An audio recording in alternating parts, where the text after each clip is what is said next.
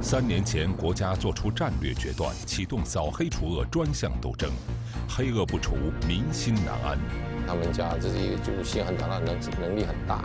其实皇家，其实就像一个噩梦一样。全力以赴，攻坚克难，坚决打击黑恶犯罪，让城乡更安宁，群众更安乐。民心所向，决战决胜。扫黑除恶专项斗争是党的十九大以来最得人心的大事之一。今日说法两会特别节目《公平正义新时代，扫黑决胜》即将播出。习近平法治思想。是顺应实现中华民族伟大复兴时代要求应运而生的重大理论创新成果，是马克思主义法治理论中国化最新成果，是习近平新时代中国特色社会主义思想的重要组成部分，是全面依法治国的根本遵循和行动指南。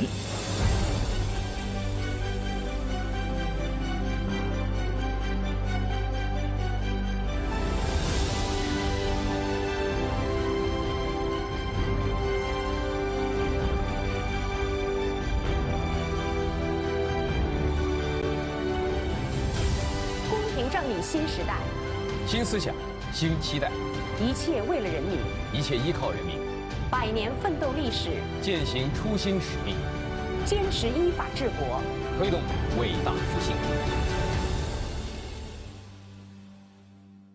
在全国开展扫黑除恶专项斗争，是以习近平同志为核心的党中央作出的重大决策。河清海晏，风清气正，是人民群众对美好生活的期盼。以习近平同志为核心的党中央顺应民心、审时度势，做出了开展三年扫黑除恶专项斗争的重大战略决断。由此，一场民心所向、前所未有的扫黑除恶专项斗争拉开大幕。大家好，欢迎收看《今日说法》两会特别节目《公平正义新时代》。今天我们的报道将对一起特别的案件展开探访。黄宏发，海南昌江特大涉黑组织的黑老大。自上世纪八十年代末至今，黄宏发涉黑组织经历了产生、发展、壮大和公司化运作四个阶段，财产积累高达二十多亿元。当地老百姓闻黄色变，当地官员和外地投资者要看黄家脸色行事，致使昌江地区的经济发展、社会秩序乃至政治生态遭受到严重破坏。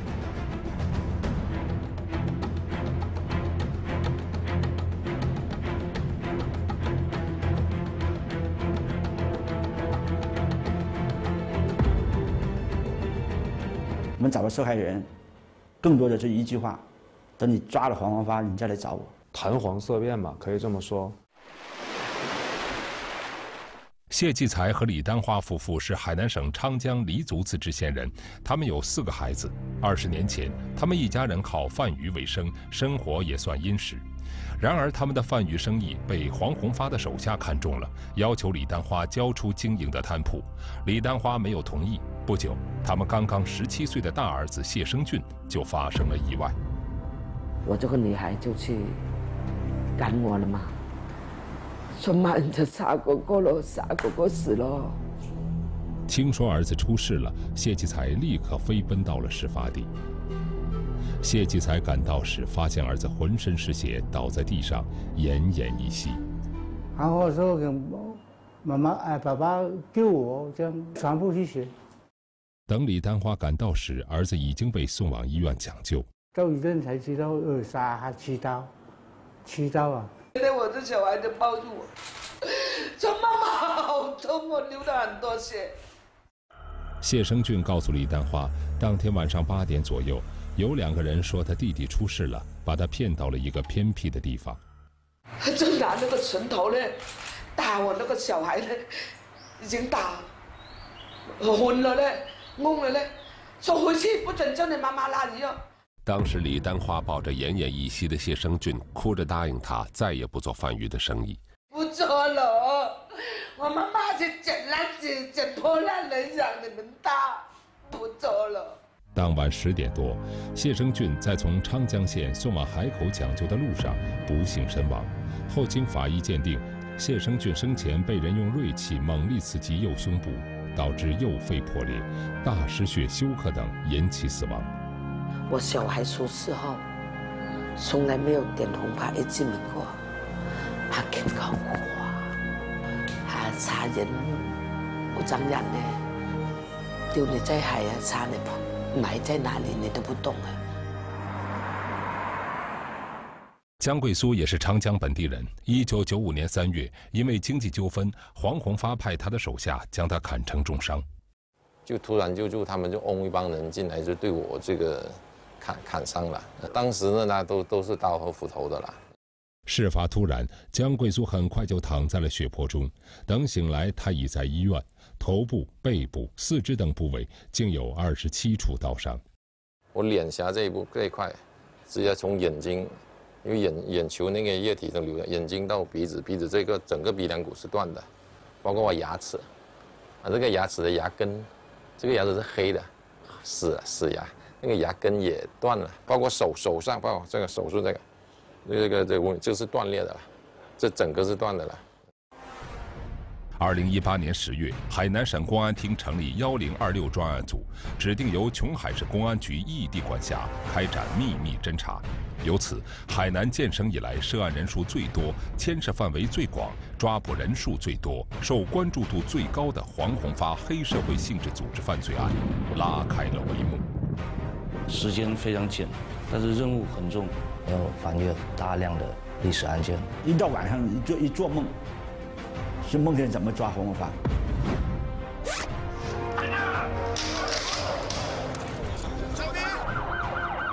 二零一九年一月六日，海南省公安厅从全省抽调一千二百一十名警力，车辆三百余辆，对黄宏发黑恶犯罪团伙开展集中统一收网行动，成功抓获以黄宏发为首的涉黑团伙成员一百六十四人。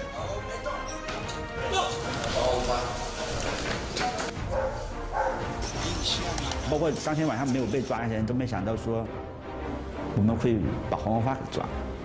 扣押人民币现金三百零二点五六万元，外币折合人民币现金三十八点二五万元，机动车二百一十八辆，管制刀具三十五把，枪支两把，冻结银行账户资金一点二亿元，股权金额二点零八亿元，证券账户金额三百四十四点五万元。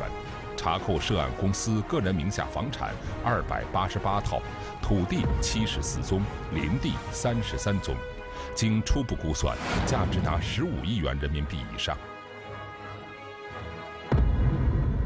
他已经控制了当地的经济，用老百姓话说的，哪个行当赚钱，他是控制哪个行当。保护的背后，那肯定有利益输送的问题，这是个权钱交易的问题。一千多本案卷记录了黄宏发黑社会性质组织近三十年的罪恶，可谓罄竹难书。一共抽调了七十八位干警，他涉及的案件违法犯罪事实非常多，有一百一十七宗。就是写成四个起诉书，可以说是字斟句酌，必须得把它办成一个铁案。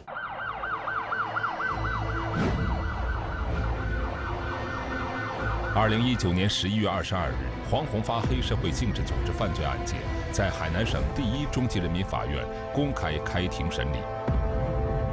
法警传被告人黄宏发、吴文、李国春。由于该案组织成员近两百人，此案分成四个庭、四个法官同时审理，每个庭审都整整持续了七天。经查，黄宏发黑社会性质组织通过以商养黑、以黑护商等手段，经济规模达八十多亿元，涉黑组织产业获利二十多亿元。那么评估价值二十六亿，那么说这些财产庞大财产，我们怎么理清楚？有一百九十六个被告人，总共最后我们判的说是十九个罪名，还有违法犯罪事实的就五十八宗。其中刑事案件五十三宗，违法案件五宗，共造成两人死亡、三人重伤、十三人轻伤、五人轻微伤的严重后果。别人在十几年后用十几年前的证据材料查实了十几年前犯罪的事实，我必须得让你付出代价。就从这个插河水泥厂的拍卖，就足以说明长江又是变天了。最后是十八点二八亿成交。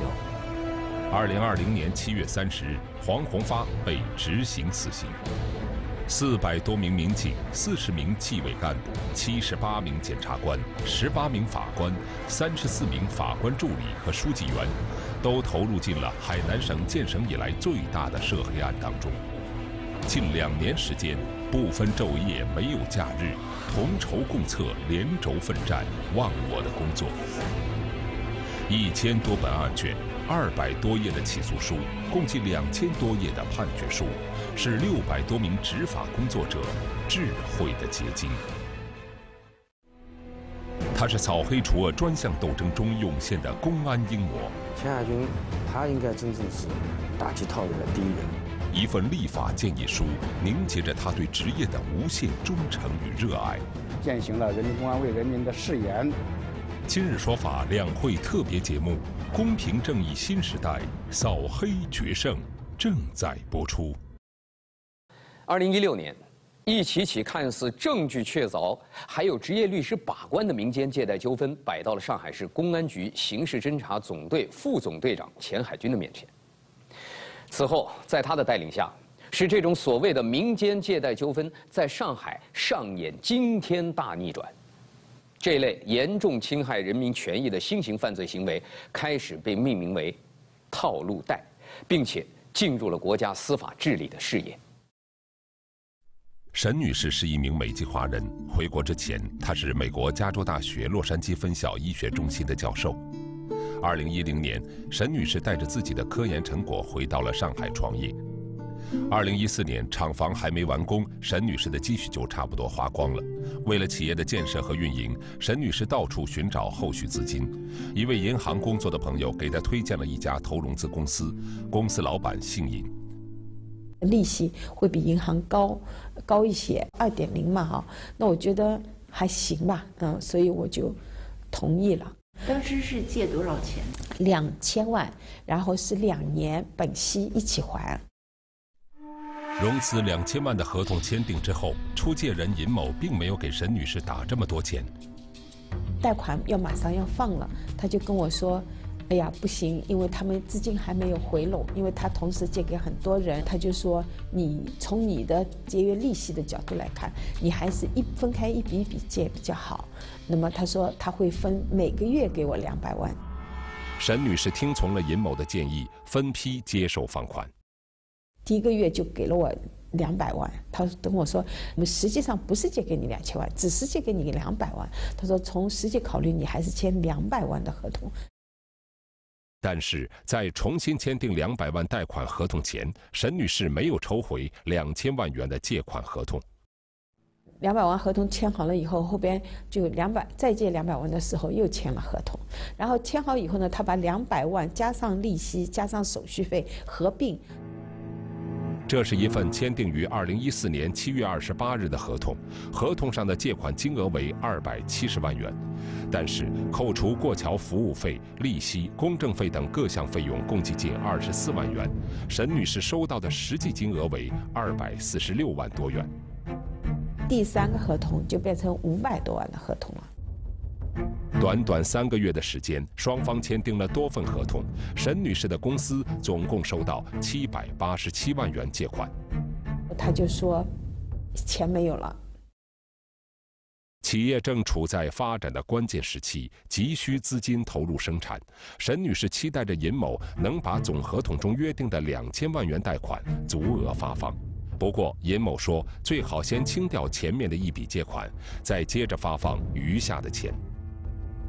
跟我说要找个人过来，其中有他一定要有一笔啊，要把它就是清算掉，要清算掉一笔两百多万吧，然后就叫来个人，就叫张先生。这个张某是出借人尹某叫过来帮助沈女士平账的。所谓平账，就是张某用自己的钱先帮助沈女士还一笔借款。当然，沈女士要给平账人张某写张借条。重新签订合同的时候，债权人从最初的出借人尹某变成了张某。这种做法被警方称为“转单平账”，它实际上是犯罪团伙用来垒高债务的一种手段。套路贷它是看似形式上是合法的，呃，是利用这个民间借贷为幌子，那么实际上是通过呃诱骗或者是威逼被害人签订一些虚高的借条、转单凭账这种方式来虚增债务。两年之后，仅仅拿到金融公司七百八十七万贷款的沈女士所欠债务已达一点七亿元。让沈女士震惊的是，尹某竟然一纸诉状将她告上法庭。就在那个时候，他当着金厅长的面，他说：“我们还有别的合同，我们还没有告他，然后这个合同加起来一起要一点七个亿。”二零一七年五月八日，沈女士走进公安机关。这种犯罪的手法是比较隐蔽的，从表面上看，呃，几乎所有的材料和证据都是有利于这个犯罪嫌疑人的，而报警人手上拿不出任何一份客观证据。面对警情，公安内部也有不同意见。呃，有的同志提出来，这类案件从这个看上去就是一个普通的民间借贷，是双方当事人的一个经济纠纷。那么公安机关如果插手来对他进行打击的话，有插手经济纠纷的这种嫌疑。面对争议，钱海军拍了桌子。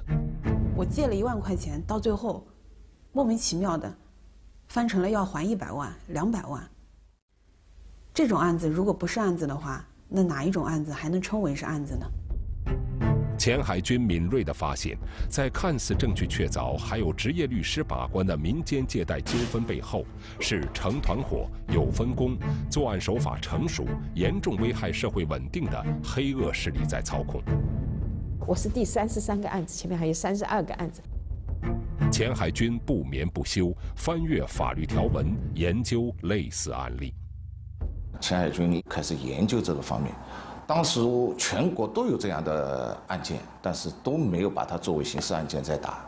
后来是由他找公检法，我们三家不断的在研研究。钱海军把琐碎的证据拼凑起来，手把手指导干警搜集证据。在专案组里工作，我们也我们也生怕他过来。为什么呢？他一过来呢，他会看看我们工作。随手拿起一份笔录啊，他会自己看，看得很仔细。这一看之后呢，就会对我们提出特别高的要求，就心里会紧张。在钱海军的严格要求下，一个个黑恶势力团伙被打掉。钱海军，他应该真正是打击套路的第一人。因为当时呢，他是副总队长，我呢是支队长。警方将这类民间借贷形式命名为套路贷。在全国，钱海军率先摸索出了打击套路贷的基本模式。二零一九年，这一模式在全国推广，许多麻烦缠身的群众看到了希望。钱总经常说，法律和打击的实务之间是有一定的时差的。我们公安要做的就是把这个时差尽量的缩短。钱海军可以说是国内打击套路贷的奠基人。他也是知名的跨国疑难案件侦办专家，长期的刑侦工作让钱海军养成勤思考、善总结的习惯。在侦办了大量套路贷案件之后，他提出，要想有效地遏制套路贷新型犯罪，必须有明确的法律法规出台。在接下来的几年里，他一直为推动非法高利放贷入刑做着努力。钱海军有记工作笔记的习惯，工作中他总是本子不离身。厚厚的工作笔记密密麻麻记录了钱海军对每一个案件的分析，字里行间浸透着一位人民警察的赤胆忠心。除了非法高利放贷入刑，反有组织犯罪立法也是钱海军一直努力推动的立法内容。我们三支队的人。不管是老的、年轻的，都知道，钱总，凡有组织犯罪法，就是钱总毕生的心愿。为期三年的扫黑除恶专项斗争开始之后，钱海军更忙了。每天，钱海军总有忙不完的工作，加班是他工作的常态。从我个人的。角度出发，我真的也是不喜欢他的这份工作的，因为我觉得这份工作让他非常的辛苦。新余不喜欢父亲的工作，但他和母亲尊重父亲的选择，支持他的工作。一年三百六十五天，他能陪伴你多少天呢？陪伴我多少天？最最最忙的时候，一年大概十天都不能都不能算到。二零一九年，扫黑除恶专项斗争进入关键之年，钱海军连续三个多月吃住在单位，每晚审阅上百份材料，经常忙到凌晨。他一直跟我说，做我们搞反黑的，搞每一起案件，你都要让社会上知道，什么才是正义。据统计，短短三个月，钱海军核发扫黑除恶线索达四千多条，签约的材料有一万两千多份。这些反馈材料，钱总还得一份一份去审核，看看有没有工作没到位的，工作措施是不是没有穷尽。每天，钱海军的工作时间都在十几个小时以上。他听取汇报，督促办案，把工作中的思考记录下来，积极推动非法高利放贷入刑和反有组织犯罪立法。二零二零年五月，公安部下发《反有组织犯罪立法草案修订稿》征求意见。作为反有组织犯罪立法小组的成员，钱海军一边参与上海一号扫黑大案的攻坚，一边收集立法草案的征求意见、修改建议书。同时，他把非法高利放贷入刑的建议也形成文字，一并提交了。他用争分夺秒的工作和暗毒劳形的付出，期待换取早日实现，让套路贷涉黑犯罪无处遁形。二零二零年五月十日，钱海军因劳累过度，牺牲在工作岗位上。生命的最后一刻，他的手里还紧紧攥着案卷。他是一个优秀的侦查员，同时他也是个优秀的指挥员，能做到副总队长，他已经经历过多少起案件的组织指挥，对吧？充分也体现出他的组织才能。我一直说，只要看到哦，钱海军来某一个案件上，你你就会哎呦，有一种很踏实的感觉。他来了，这个案子在组织指挥也好，在办案过程当中也好，哎。你心里就会感觉很踏实，有他在，没问题。那么，在全国范围内，三年扫黑除恶专项斗争取得了哪些成效呢？我们探访了公安部。杜部长，三年扫黑除恶专项斗争取得了哪些成效？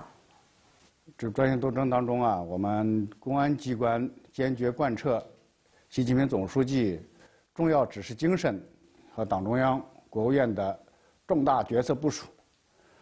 在全国扫黑除恶专项斗争领导小组的统一组织下，这三年时间，我们公安机关共打掉三千六百四十四个涉黑组织，啊，一万一千六百七十五个涉恶的犯罪集团，破获了各类案件是二十四点六万起。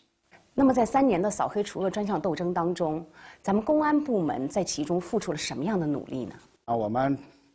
重点抓了六个方面的工作：一是组织开展大案攻坚，啊，始终保持对黑恶犯罪的压倒性态势。公安部直接挂牌督办的案件有一百零四起，组织侦破了著名的啊山西陈洪志、啊海南黄宏发啊等一批大案要案，应该说成绩啊非常的显著。二是全力以赴，啊，缉捕。啊，在逃人员绝不让任何一名啊黑恶逃犯逍遥法外。